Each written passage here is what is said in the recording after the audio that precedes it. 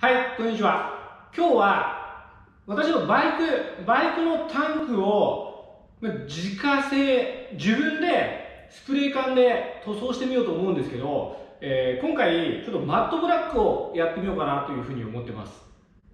で、このマットブラックですね。マットブラックは、艶ありのブラックと違って、最後、えーコンパウンドで磨いたりとかっていうのができないので、スプレー缶の質で結構仕上がりが左右されちゃうと思うんですね。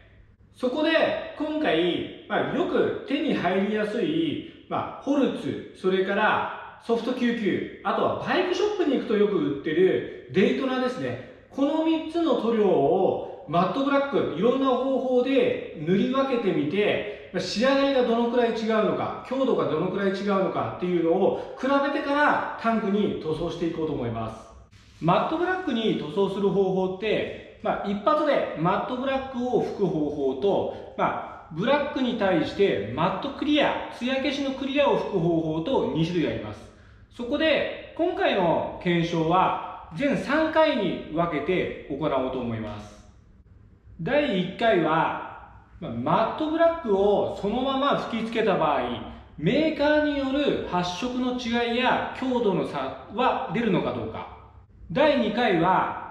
仕上げに艶消しのクリアを吹き付けた時にアクリルとウレタンこれで差が出るのかどうか、まあ、ついでに、えークリアを吹いてないのも比べます第3回は艶消しクリアを吹き付けるその下地には艶ありブラックか艶消しブラックどっちを塗った時の方が発色が綺麗かどうか仕上がりの違いっていうのを比べてみたいと思います。第2回の今日は、艶ありのアクリル塗料のブラックの上に、一つ目は、ホルツの艶消しクリアですね。で、残念ながらソフト99から艶消しのクリアが私は見つけられなかったので、ホルツだけ試してみたいと思います。それから、これデイトナの艶消しクリア。で、これはウレタンです。なので、アクリルとウレタンの強度の違いっていうのを試してみようと思います。それから、最後これクリアじゃないんですけど、えっ、と、これデイトナのマットブラック。で、これウレタンカラーなので、強度はウレタンクリアを吹いたのと同じくらいあるんじゃないかっていうことで、これ一発で仕上げてみた時も試してみたいと思います。ちなみに、下地に吹くのは、これ、ホルツのアクリル塗料のトヨタの、トヨタ車用のブラックですね。T90。これを下地に吹いてみたいと思います。一応、ちゃんと検証したいんで、今回これ、プラサフ吹いたところを、1000番で足付けします。シリコンオフで脱脂します。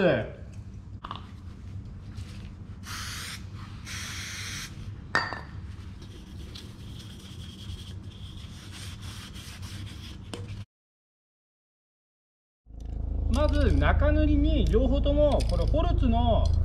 トヨタ用の艶ありのブラックですね。これを塗っていきます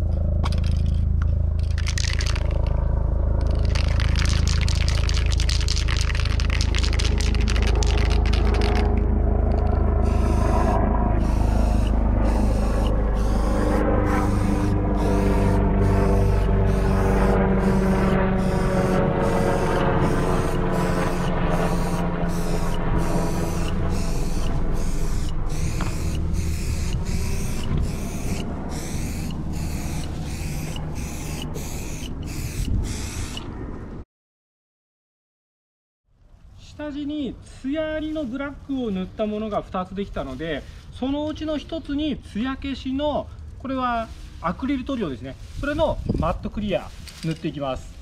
ソフト99同士のウレタン以外の、まあ、ウレタンをやるときは、まあ、しっかりと硬化させるんで、まあ、70時間とか硬化させなきゃいけないんですけどアクリル同士なんでこれは塗ってから、まあ、数分で上塗りいきます。でこれツヤがテカテカしてるんですけどツヤ消しを塗っていくと瞬く間にツヤが消えていきます。同じホルツのツヤありのブラックをそのままの状態とホルツのツヤ消しクリア塗った状態です。確かにツヤ消えたんですけどこっちが磨き前ということもあってツヤが足りないのか思ったより大きな差は出ませんでした。念のため余計に1週間乾かしました。でこれデイトナの艶消しクリア対ガソリンペイントですねを塗っていきます。デイトナのウレタンクリアの使い方なんですけどまず30秒間一生懸命振ります。よく振ったらこれ下側の蓋これを外すとピンがあるのでこれをグッと押し込んで逆さにして10分くらい置いときます。10分ほど逆さで放置したら最後もう一回振ります。でこれもうちょっと30秒くらいやったら準備完了です。艶ありのブラックの上にウレタンの艶消しクリア塗っていきます。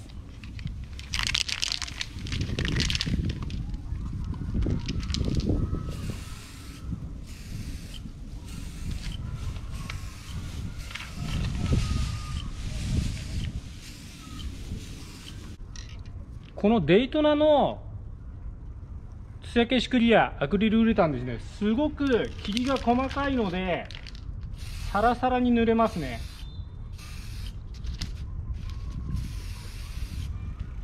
最後これデイトナの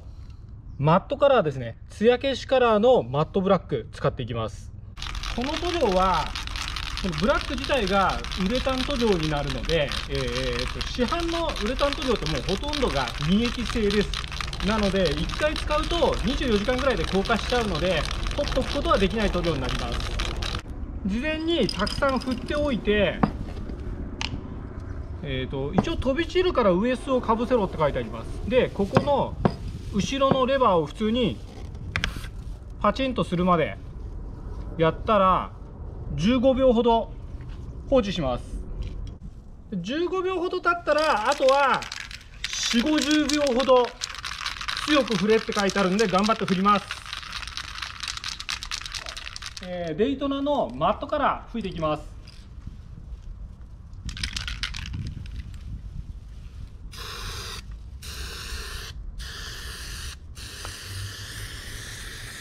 すごく細かいですね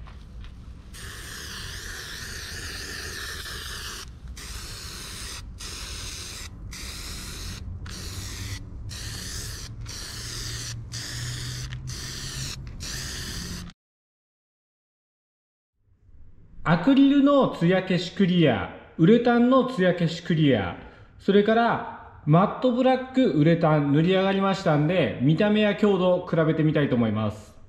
左がフォルツの艶消しブラック、右が艶ありブラックにアクリルのマットクリアを吹いたものです。色味はさすがにかなり似てるんですが、ちょっとこっちの方が光沢がある分濃く見えるかなっていう感じですね。でただ正直色味が好きか嫌いかレベルで大きな違いは感じられません。まあ、よーく肉眼で見ると少しこっちの方が、なんて言うんでしょう。表面にやっぱり薄い塗膜がついてるので、その分、なと、光が微妙に違うかなっていう感じはします。どちらも艶ありのブラックにアクリルのマットクリアかウレタンの艶消しクリア吹いたものです。正直、多分映像だと全くわからないくらい、肉眼でもものすごい似てます。ほぼほぼ同じような艶をしているんですが、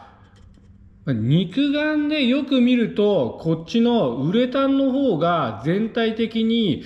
何て言うんだろう、ブツブツが少し潰れたような表情をしてます。それ以外、ツヤ感だったりとか、色味とかっていうのはもう全くわからないくらいですね。アクリルのマットクリアとウレタン塗料のマットブラックです。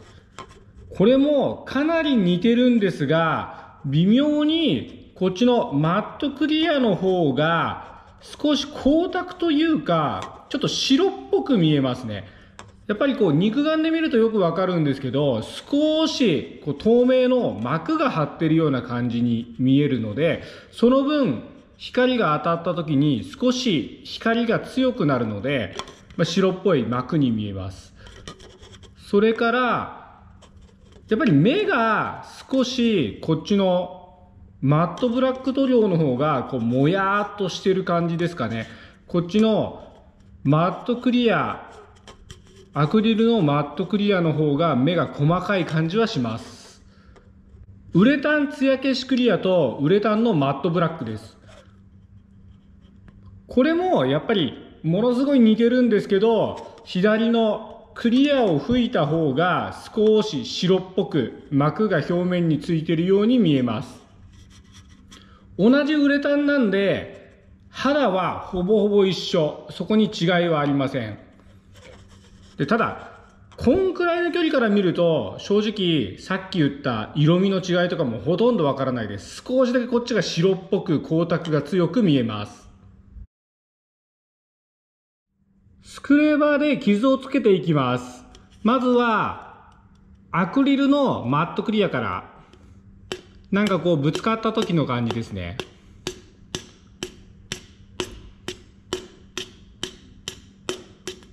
それから引きずってみます。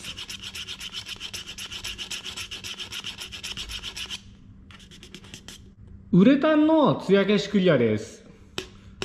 できるだけ同じくらいの力でやってみます。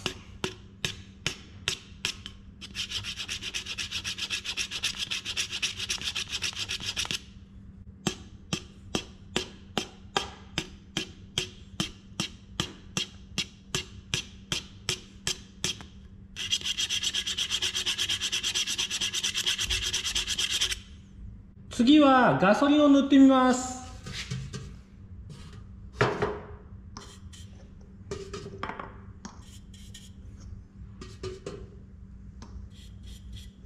布でこすります。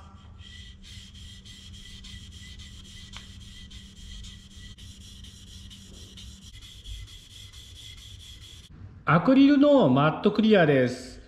これはまず叩いたところ。でこれなんですけど以前のクリアを塗ってないそのままの艶消し黒同じホルツなんですけどそれと比べても少しこう剥げるというか塗料の厚みが出た分塗料がパリッと剥がれてしまうような感じがします。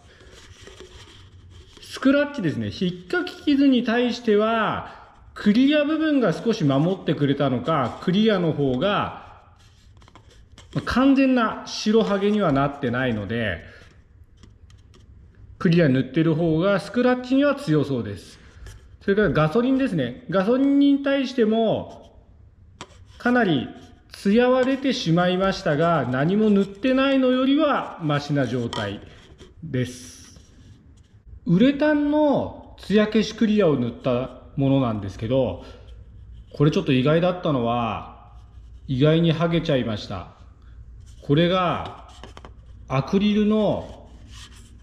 マットクリアを塗ったやつですね。これより少しだけマシくらいで、まあ、この後紹介しようと思ってたウレタンの艶消しブラックこれよりは圧倒的に傷がついてしまってます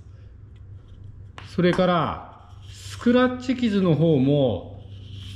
こうよく見ると白い跡になってしまってるのでこれだとコンパウンドとかで磨いても消えるレベルではないかなという感じ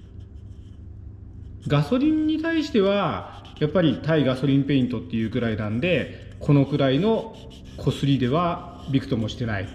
状態です。デイトナのウレタンのマットブラックです。でこれさっきちょっと紹介しましたが、傷は点と当たった一番の小さい点だけはちょっと白っぽくなりますが、それ以外のところはやっぱり傷にすごく強いです。で、スクラッチした部分に関しては、正直この映像だと微妙に線があるかなくらいだと思うんですが、